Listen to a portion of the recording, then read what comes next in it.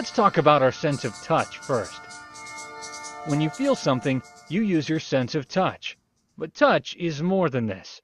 From head to toe, you feel the sense of touch through the entire surface of your skin. You can feel the hot and cold, pain and pressure all through your skin. Skin is where it all starts. Your skin has many layers. The innermost layer is called dermis. Dermis has millions of nerve endings.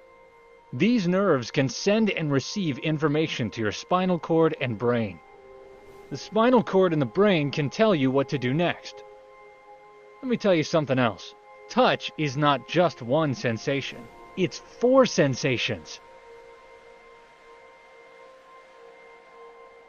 The sensation of warmth and the sensation of cold.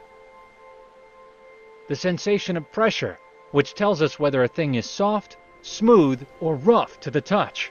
And finally, the sensation of pain, which can alert us to dangers.